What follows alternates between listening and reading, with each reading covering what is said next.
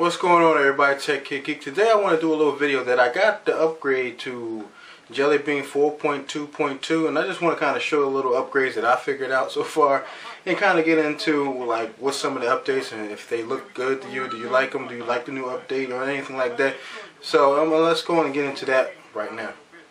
Yeah, so I just wanted to show some of the uh, new features that I've seen so far and one of them is when you touch the clock it kind of goes into this box form around the uh, unlock thing. So, so when you hit that or you unlock it, you go straight to the clock features where you can go to the um, you can go to the regular clock and the date and stuff like that. Then you got the little stopwatch thing, and also you got um, what is this? Oh,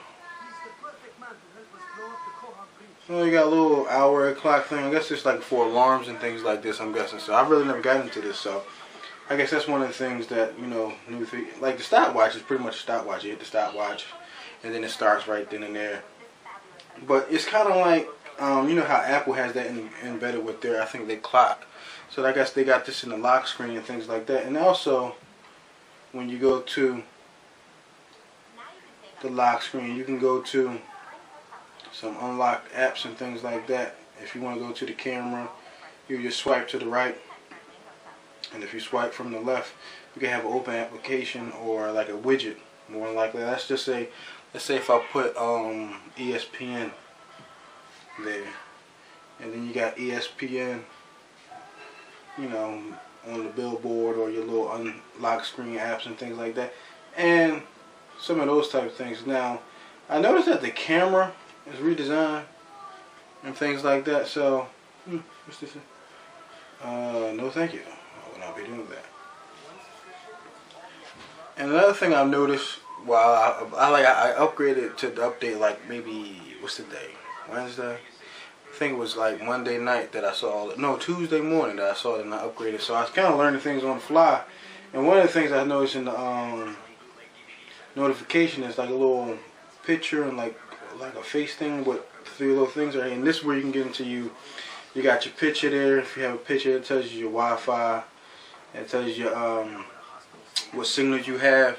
Like right now, this is a, um, a phone I, I lost and I found. Somebody found it for me. So this is like I took the SIM out of this one, put it in my new phone, and you can tell if you have like the uh, internet signal, not the internet signal, the Verizon signal right there. This will be where it would be. You got your brightness, your settings, your uh, battery life airplane mode, Bluetooth, clock, and also you can go to the settings and things like that. Timer stopped. Oh yeah, that's when I hit the little clock thing.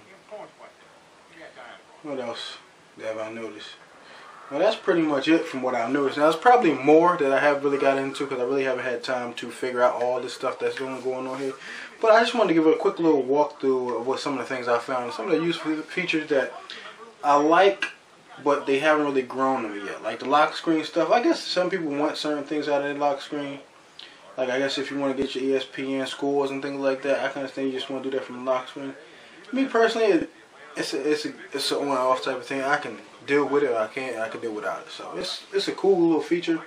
I guess if you want to go straight to the camera app, a lot of times from the lock screen, you can do that now. So it's one of those type of situations where you probably you you kind of get what you looking for and what you ask for. So I like some of the features, like some of the stuff, like like I said, the notification thing when you hit the little tab and you get all your information with your Wi-Fi signal, your um, cellular signal, your battery life, and things like that.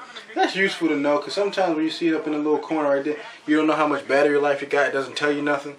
So you kind of can swipe through there and find out your battery life and things like that. So that's little, that's the end of this video. I ain't really gonna go into much, a whole bunch of things I haven't found yet. If I find out more, I'll probably do another video let y'all see that. So please leave your comments down below. Let me know what you think. If anybody who upgraded or has who got the Nexus 4 or any other operating system that upgraded to the 4.2.2, please leave your comments down below. Let me know what you think. Just because I want to know, do you like the new upgrades and the, um, the updates that they did to the um, OS? So please let me know.